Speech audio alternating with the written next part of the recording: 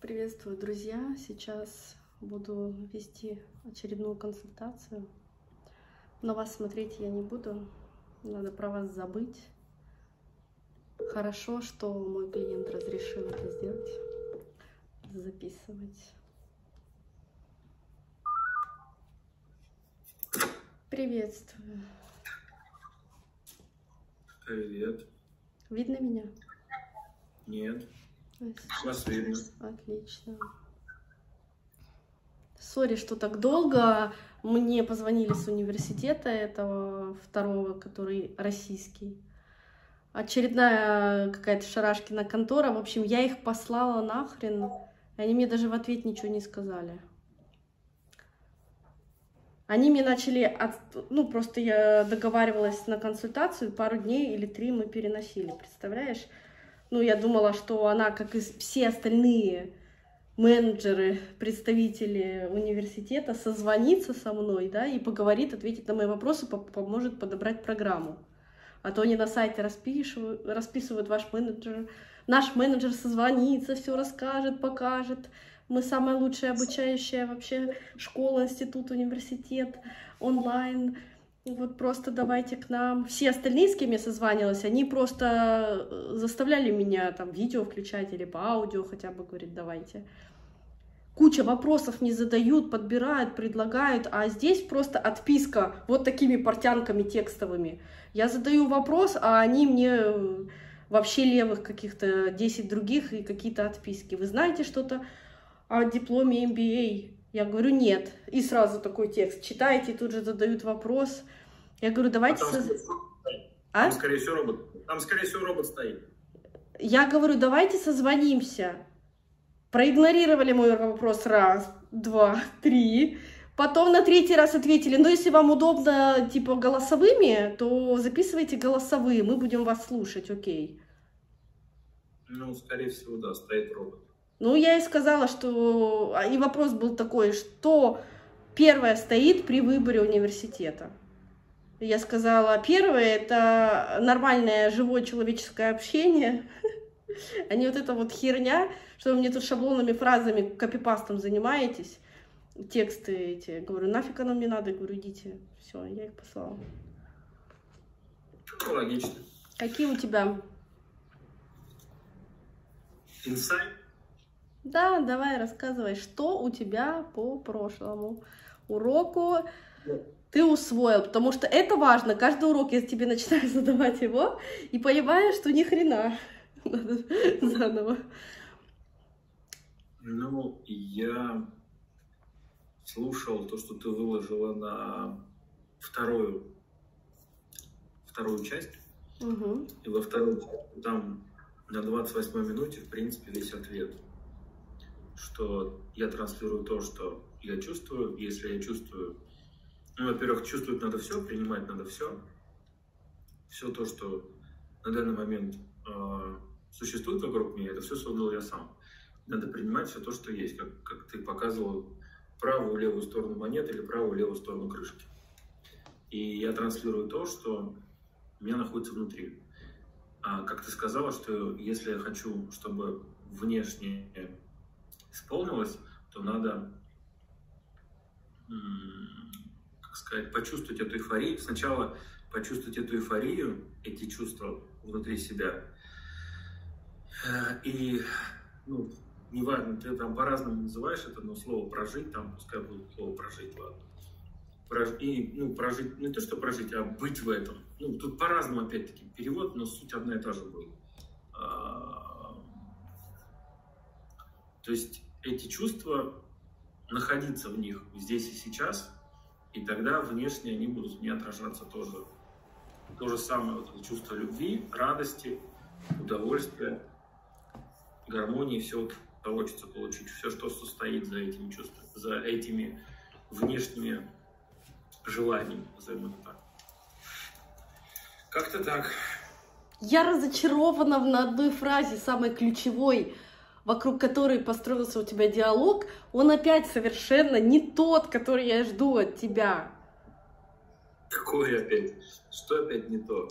Ты каждый раз с одного и то же начинаешь. И я каждый раз тебе говорю, вот именно это и есть, является ключевым тем, что у тебя проблемы. И ты все, я понял, и опять не сегодня то же самое скажешь, что и в прошлый раз.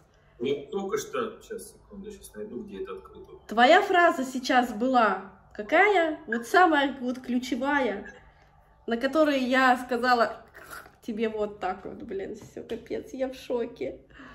Сейчас я сейчас найду. Вот он. Вот она, 28 минута, 28-27. Ты говоришь опять, «А, то, что я хочу получить внешнее, мне надо проживать чувство внутри. Блядь, какое внешнее? Ты должен начинать с фразы «Я больше не хочу ничего внешнего.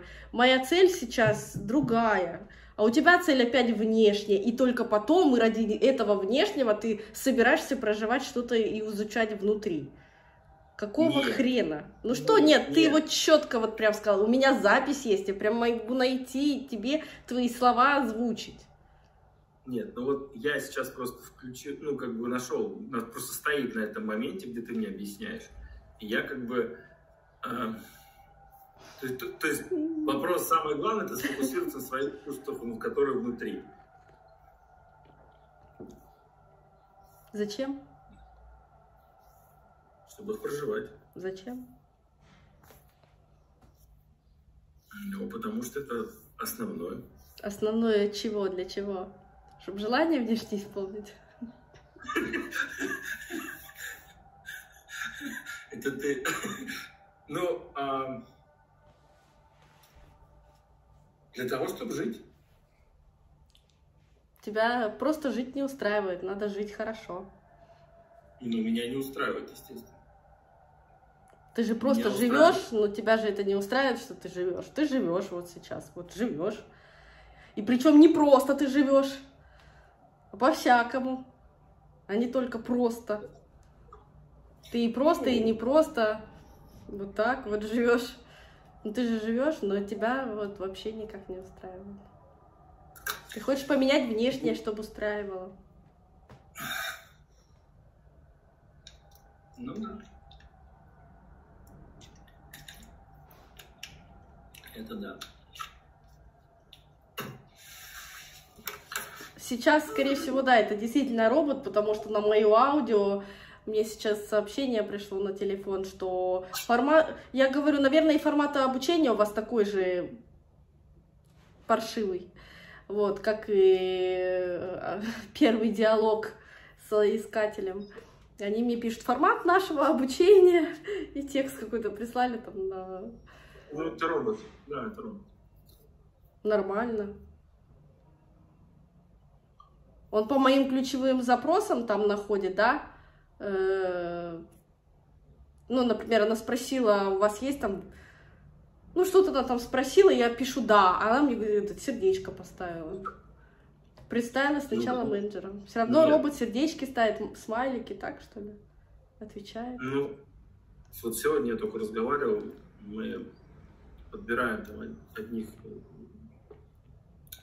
одну компанию, которая будет подрядчиком, и мы смотрим, вот у них есть уже программа, которая отслеживает все заходы на сайты, а, она сразу определяет э, все исходные данные по человеку и полностью предоставляет, ну то есть искусственный интеллект полностью предоставляет уже все твои данные на базе того, что ты да это еще 10 лет назад ну, по УТМ меткам можно было в, в Яндексе найти по статистике любого сайта и, и Гугла, кто это человек, что его возраст, профессию, на каких сайтах он лазит. И так как я эксперт в этой рекламе и сайтов, я как раз таки этим и занималась, прогнозами. Кто заходит и что, и потом я рассказывала клиентам, бизнесменам, что им делать на сайте с продуктом, с логистикой, с текстами и вообще с продуктом, с услугами на основании того, что за аудитория, где она ходит, причем самое интересное, куда глаза смотрят, что читают на сайте. Это еще было 10 лет назад известно. Здрасте. Ну вот они... Что там какую-то лажу хотят продать? Дарить тебе список всех этих людей с телефонами, и ты можешь спокойно их обзванивать. Ну там получается, что Я, я просто не маркетолог, я не могу тебе таким вот языком... Ну ладно, я тебя поняла. Вопрос, зачем тебе проживать эти чувства? Нафига? Что за цель теперь у тебя? Слушай, ну у меня цель одна. Бабки. Да. Пройти дальше и как бы, ну как сказать... Значит, коучинг у нас с тобой закончен. Бабки я тебе дать не могу, к сожалению. Это только я их могу от бабки тебя получить. Ты мне, ты, э, бабки ты мне не дашь, ты мне ответы можешь дать. Ну, ты уже их дала. Ну, то есть, по факту, я уже получил ответы, которые мне надо было получить. То есть, я да? получил ответы, Нет. которые... Нет. Ты не получил ответы. Ну, ты как бы получил ответы, но ты не понял этих ответов, потому что тебя до сих пор интересуют бабки. А ответ как раз-таки в единственном, что когда они тебя перестанут интересовать, они у тебя будут. Но пока ты опять смотришь на внешнее и хочешь чувства проживать только ради того, чтобы изменить э, реальность вовне, если у тебя сейчас такой взгляд на мир, то ты так и будешь сидеть в своих проблемах бесконечно. Получать в яму, получать в яму. И вот, вот так вот вышел, выпрыгнул, из нее опять запрыгнул. Это будет бесконечный процесс. Мы вчера о чем с тобой говорили? О том, что... О том, что надо убрать фокус с внешнего на внутренний, о том, что надо жить здесь сейчас, принимать все то, что ты проживаешь. Если я, допустим, кайфую и радостно, то мне все вокруг будет вызывать эту радость. Если мне комфортно и уютно на душе, мне при любых обстоятельствах, условиях будет комфортно и уютно. Я буду любить и дождь, и снег, и ветер, и солнце. И погода мне здесь не испортит настроение. Грусти никакой у меня не будет. Если я грущу, я буду грустить я буду искать все поводы грусти, какие только можно. Мне все будет тоску вызывать. Но когда я внутри испытываю вот эту вот радость, допустим, да, мне не надо ее искать, если я и так радуюсь. Мне не надо думать, как бы поржать, если я и так ржу. Ну, например. Это я, это Когда я... ты поймешь, что за внешними твоими желаниями лежат куча всего, что ты хочешь испытывать, и научишься, и потратишь всю свою жизнь для того, чтобы, блин, найти все эти чувства, их испытывать, проживать. То есть ты живешь только вот ради этого, на самом деле. У тебя других желаний нету. Ты живешь не почему, да, и твоя мечта это любить и испытывать радость и счастье. Все стремятся к этому. Но так как они не знают, что такое счастье, любовь и радость, и пойдут еще там на следующую реинкарнацию, пойдут ли вообще непонятно. Кто-то говорит, мы в камни превращаемся потом. Второй уровень. Если ты был на втором, ну то есть если ты на третьем уровне находишься материализации, то ты в камень не можешь пройти, это вторая стезя. Это второй уровень. Ну ладно, хорошо, не будем сейчас в эту эзотерику. Я просто тебе э, к чему говорю, что все бегут за деньгами для того, чтобы почувствовать то, ради чего они э, живут. Ради того, что у них внутри есть уже. Ну, все деньги хотят, чтобы на них что-то купить. Если я на них буду что-то покупать, то я буду в безопасности, я буду накормлен, одет, сыт, в тепле, в комфорте и так далее. То есть всех вот этих чувств. Но когда эти чувства внутри тебя растут постоянно, и ты их, э, ну как сказать, ты постоянно держишь, транслируешь, да, ты постоянно держишь на себе фокус внимания, что ты это вот твое тело и твой ум. Вот ты очень хорошо, и как и все люди, научились, мы, очень хорошо фиксировать на себе внимание, но вот надо также, естественно, фокусировать внимание и на всем остальном, что мы ищем бесконечно. Причем мы ищем его не, ну, не там, поэтому никто не может найти ни счастье, ни любовь, ни радость бесконечную.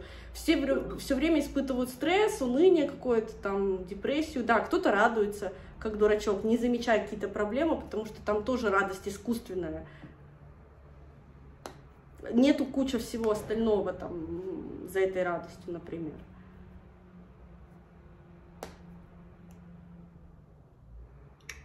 Но просто когда ты испытываешь этот комфорт, у тебя желания закроются, ну, схлопнутся, уберутся, я не знаю, ты перестанешь желать того, что у тебя есть.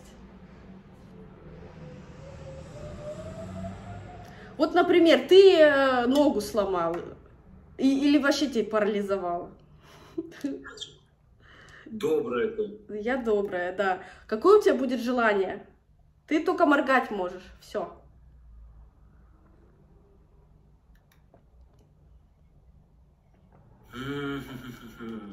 Ну, теоретически, да. Фильм один плюс один. Ну, ты будешь хотеть что, умереть? Или все-таки жить? Тут масса вариаций, но, скорее всего, уйти. Смысл в чем? Ну, смысл э, захотеть жить, чтобы у тебя распарализовало обратно. Чтобы ты смог э, стать здоровым и счастливым и пойти жить. И ты будешь думать, блин, почему я не жил, пока у меня были руки, ноги, там, и все, я мог ходить и чувствовать этот мир. А сейчас я ничего не чувствую, я парализованный, вообще ничего не чувствую. Да, ни рук, ни рук, ни ног, не пошевелиться не могу, ничего. То есть у тебя будет э, от недостатка желания, естественное желание. А когда у нас это есть, мы этого не желаем. Ну, это естественно, потому что у нас это есть. Мы руки э, крутим, ноги крутим, голову крутим, мы разговариваем, все чувствуем. Ну, то есть зачем нам хотеть то, что, ну, как бы априори и так все хорошо? Ну да. Но когда ты будешь э, чувствовать душевный комфорт в своей душе, просто потому что ты живешь и все, это будет для тебя естественно, опять это слово, и ты не будешь его хотеть, этот комфорт где-то купить. Ну, потому что за деньги ты хочешь купить все эти чувства, которые ты хочешь испытывать. И ты зарабатываешь только ради этих чувств все желания, все стремления, все цели только ради того, чтобы купить или заработать, или заслужить, или там отнять, или что можем еще, чувства какие-то. Ну, кто-то крадет, кто-то зарабатывает, кто-то умом зарабатывает, кто-то руками, головой, там, за счет другого человека, э, за счет эксплуатации. Все используют как могут, лишь бы там приобрести чувства какие-то.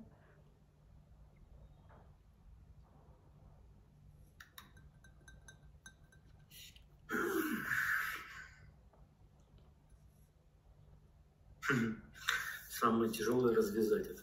Ну ладно. Уложить в голове, что если ты просто сейчас почувствуешь, что ты получишь это в жизни. Это самое сложное. Опять получишь это в жизни. Пока вот это я хочу получить это в жизни, все, у тебя путь закрыт к этому.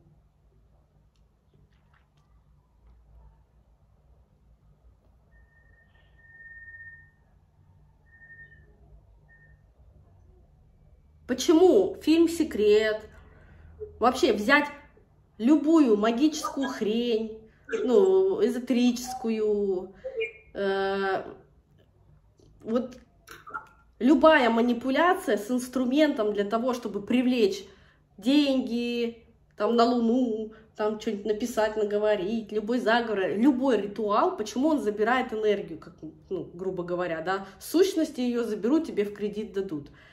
Просто кто-то это так объясняет, я тебе по-другому просто скажу. Что ты, ну, все люди, да, сделали что-то, ну, то есть почувствовали эти чувства не для того, чтобы эти чувства чувствовать, которые вот я хочу чувствовать, блин. А я это сделала ради достижения какого-то внешнего фантика, чтобы этот фантик это, это же чувство мне обратно дал. Ну, то есть, как бы я чувствую запах кофе, чтобы мне пришли деньги, и я на эти деньги смогла наконец-то купить себе кофе. Ну, ты понимаешь, о чем я пытаюсь сказать? Да. Да, и в этом процессе, в этом ритуале, в любом ритуале, ты просто уходишь э, в яму, ну, как бы, в, э, каждое твое желание, где ты притягиваешь что-то внешнее, именно я про ритуалы сейчас говорю, про всякие танцы с бубнами. неважно. Не когда ты работу работаешь и удовольствие получаешь от работы, генерируя энергию, да, и получая какие-то там свои желания. Но ты генерируешь энергию не когда думаешь, что ты поработав что-то получишь, а когда тебе пофиг, что ты получишь, но ты ну, просто наслаждаешься процессом. И вот это вот тебе, когда пофигу, что ты получишь, а тебе процесс интересен. Так как то, что пофиг, это просто цель, ориентир, ну, в каком направлении наслаждаться вот этим процессом, и все. Тогда, да, ты получаешь энергию, у тебя закрываются вот эти вот материальные желания, но они закрываются не за счет того, что ты их прям сильно хотел. Нет, это просто ты, потому что творишь в творчестве то, что тебе интересно, и ты наслаждаешься этим путем и интересом, о чем все мои видео. Но когда ты делаешь что-то ради вот этого получения, ты просто в кредит забираешь у тебя, и ты каждый раз будешь проходить урок, который будет бить по голове. То есть ты на 10 рублей добился, 100 потерял, на 1000 добился, миллион потерял, миллион добился, 10 миллионов потерял. Вот так это всегда работает. Свяжи это с законом этого бумеранга и десятины еще. Я со всех сторон вот просто объясняю на разных видео, что да, это можно объяснить вот так, можно вот так, можно вот так. Вообще целую картину, если собрать, то по сути вот ты живешь в кредит, как и все мы. Со своими, блин, этими идиотскими желаниями. Я хочу получить, э, вот я сейчас представлю запах кофе. Ну, нет, ну с кофе как-то да, по-дурацки. Ну, ну, я понял, я понимаю о чем то То есть, как бы, суть понятна. А что непонятно? Да все уже понятно. Просто вопрос в том, что это же надо сделать, а не просто поговорить. Да, я сейчас Это, да, надо отказаться от своих внешних желаний. Это самое сложное. Отказаться от всех желаний, чтобы получить все желания, либо не отказываться от этих желаний, ничего не получить. Ну, блядь, это выбор очевиден. Ты, когда отказываешься от этих желаний, это не значит, что ты ручки свесишь, скажешь, я больше ничего не хочу, ничего больше делать не буду. Нет, это вообще полная дребедень. Кто сейчас посмотрит это и так подумает, то, ну, как бы у вас, ну, скудоумие просто вообще, мама дорогая.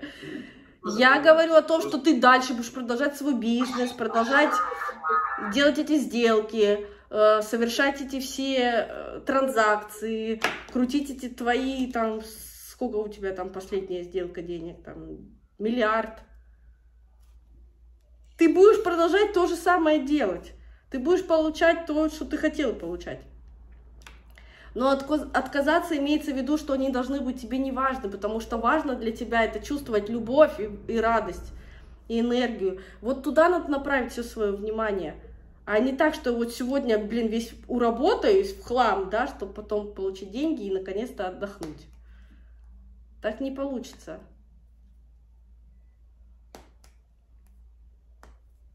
Вот с этим и самое сложное, что надо, как ты говоришь, убрать привязку ума к результату конечному, расслабить ум, отпустить ситуацию, перевести свой, в, свою внешнюю направленность на внутреннее состояние чувства, начать получать удовольствие от того состояния, в котором находишься, при этом при всем чувствовать все эти чувства и получать удовольствие от процесса. Все это заебись, но это надо сделать.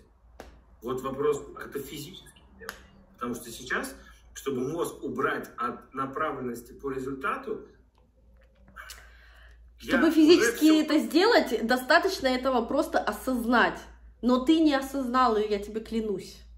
Я сейчас только тебе это сказал. Вот я сейчас только тебе это перевел, твои слова своими. Но вопрос в том, что помимо того, что это осознать, вот сейчас я сегодня переслушал там вторую часть заново, вчера переслушивал там то, что мы записали. Я каждый раз переслушиваю. Даже поминутно могу сказать, где что находится, какой ответ где стоит. Поминутно. Да, но это не проваливается далеко, глубоко. Но оно как бы на уровне где-то вот здесь. Вот здесь вот до желудка еще не дошло. Вот тут вот. Нет. Стоит. Еще раз.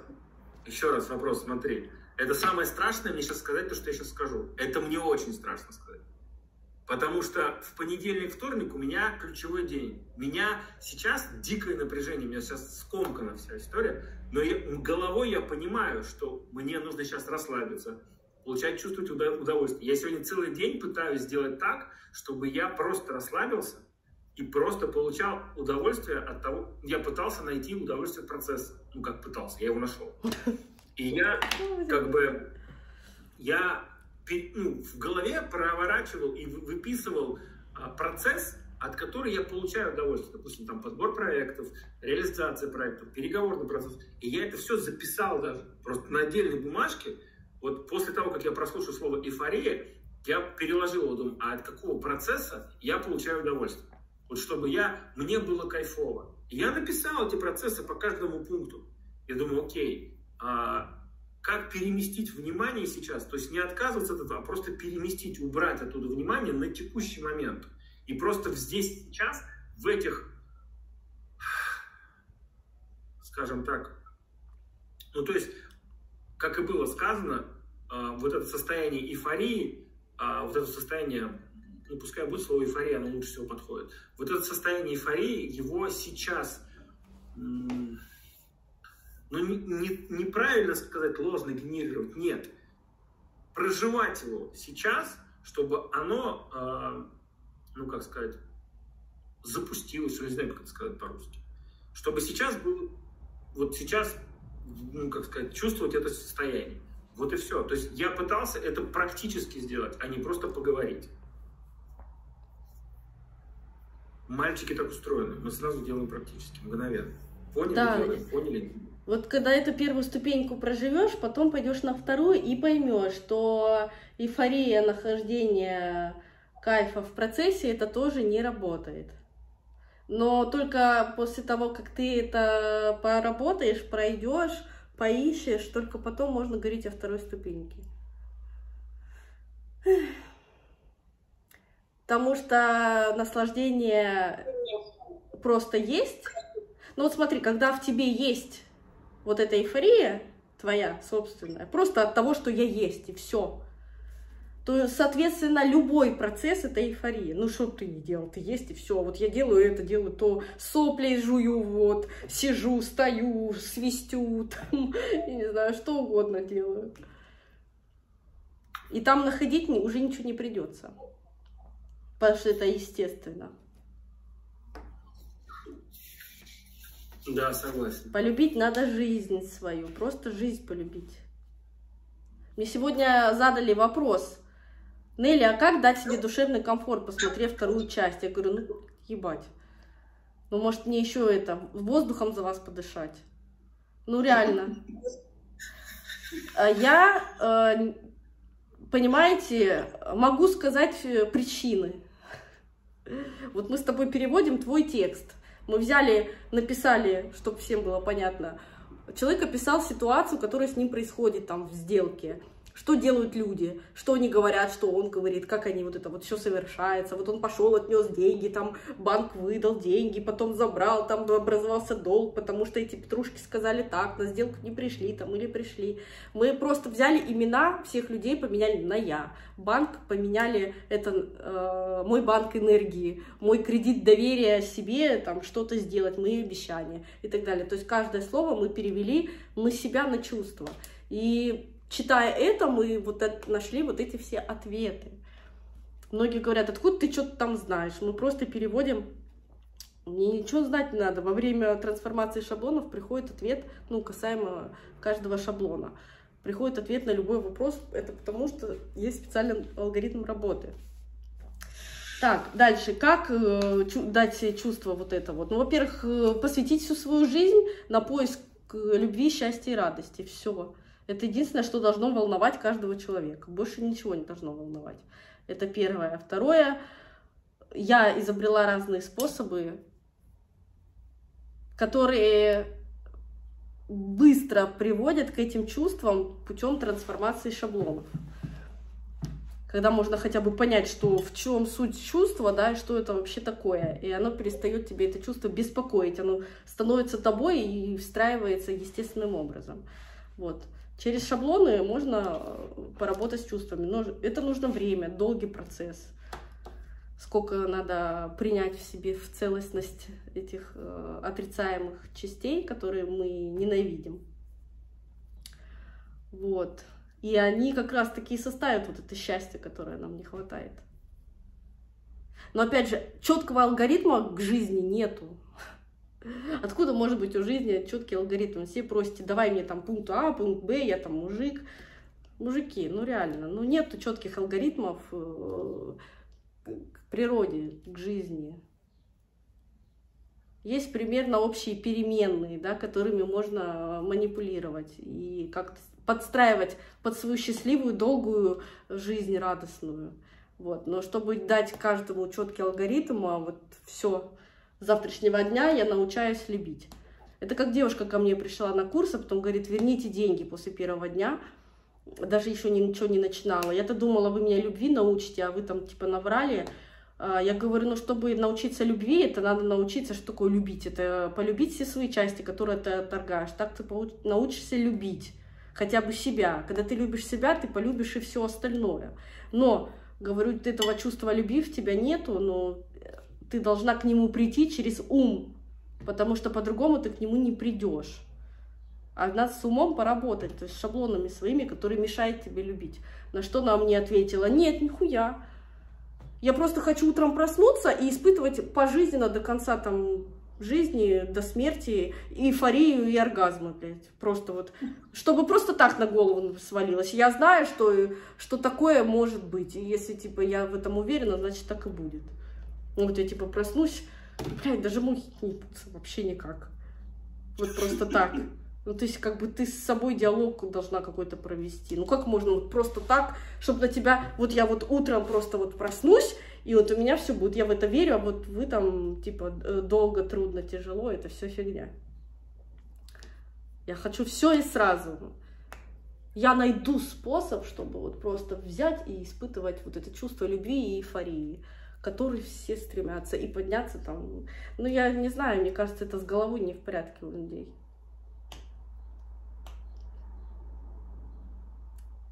То есть ты должен потратить свою жизнь на что? Не переживать о сделках, а переживать о своей жизни. Вот ты вот так вот переживай и будь напряженный. Блядь, где моя любовь, где моя радость, где мое счастье? Вот, вот за это так переживай, а не вот за вот это внешней мишурой. Будет сделка или не будет. Да и не будет и по херу. Что с самого страшного случится? Да ничего. Причем самое интересное, ну придут эти деньги, ничего не изменится. Ты как лежал на диване, так и будешь лежать. Ну хорошо, покрасивеешь немножко там, что-нибудь переделаешь. Но опять же ничего не поменяется. Почему? Ну, да потому. Да куча всего меняется. Вот видишь, как тебя ум уводит. Все поменяется, когда я там денежку потрачу, Нет, вложу, что-то переделаю тело, переделаю зубы, переделаю там внешку, переделаю там, не знаю, машину, ну, другую квартиру, вот все поменяется. Чувств как не было, любви, счастья, так и не будет. То есть, как и была неудовлетворенность, она так с тобой и останется. Ну, не может она быть куплена за деньги, эта удовлетворенность. Не может, ты будешь разочарован. Это я все понимаю. Не сейчас, понимаешь. Сейчас, подожди, ты хочешь, чтобы я за две минуты вот так вот... То есть, Нет. у меня сознание есть, я понимаю, Мы уже третий месяц работаем. Ну а что пойдет? Не за две минуты. Я никогда, я никогда не думал, что вот так будет, как сказать, ну такая привязка, что ли, будет, пускай будет так. Но я понимаю, что эмоционально как бы, ну вот так вот. И это же надо прожить, скажем так. Мне Но... кажется, мне кажется, если бы это было возможно, я бы с радостью, просто с радостью бы приехала бы к тебе сейчас. Поставила бы пистолет к виску к твоему и сказала бы, что для тебя важнее сейчас, бабки или смерть? Ну, в смысле, э, Сдохнуть бабки и смерти, сдохнуть или жить. Да, я, я 99,9% сейчас буду стрелять. Может быть, там 1 или 0%, там 0,1%, да, будет осечка. Но будет осечка, это вот этот маленький шанс, если ты захочешь подумать о, о своей жизни, да о любви к себе, там, о счастье, о радости. Ну, либо ты выбираешь деньги, и я стреляю. Либо, либо я выбираю жизнь не себя, и ты не стреляешь. Ну, как бы да. Мне вот интересно, что тебе важнее будет, жизнь твоя или деньги опять? Ну, ну просто ты не понимаешь... Жизнь, потому что жизнь, э, ну, без жизни не будет всего остального, поэтому, конечно, я выберу жизнь. Не, реально, ну, тут других вариантов просто нет. Выбираешь жизнь, конечно же. Просто ты Но... сейчас не понимаешь, вот в 90 наверное, мне кажется, за день до смерти все понимают вот это вот. Мне кажется так. Но всю остальную жизнь сожалеешь, что просрали. За недели до смерти она уже знала, что произойдет. И когда за две недели до смерти она уже все знала, она сказала, кто не приедет на похороны, кто ничего не... Она за две недели сказала всем, что произойдет. И э, я думаю, что вот это прозрение, оно как бы намного раньше приходит. Ну, хорошо, за две недели тебе придет прозрение. Ты скажешь, что же я не жил, блин? Почему я не наслаждался этой жизнью? Почему я не любил? Сейчас меня не будет, я закончусь, все. Тебе не жалко просрать свою жизнь? Вот скажи мне. Жить это не значит, что ты живешь, ездишь там на Майбахе, там э, у тебя там хоромы, купил пол Дубая. Нет, это не вот в жизни, это вообще не связано с этим. Это просто вот рекламная картинка, которую э, кое-кто навешивает людям, как морковку вот к ослику впереди привязали. И все овцы ведут и думают, что вот, блин, я буду счастлив и радостен, если вот все вот это вот у меня будет. Я в самом начале сказала, мы с тобой поругались на этот счет. Да. Ты сказал, со мной не согласен и пиздец. И я тебе сказала, что я докажу тебе, что я, что, что я говорю нормально, и ты согласишься. Но принять ты этого не можешь все равно пока. И я не понимаю, почему, потому что обладать ну, всеми ресурсами, которые тебе даны, ты можешь. Но только когда они у тебя просто вот захотел воспользоваться, не гнаться за ними. Не... А когда вот ты просто живешь, кайфуешь, тогда у тебя ресурсы тебе даны будут, да, ну... Ой, не знаю, как это объяснить.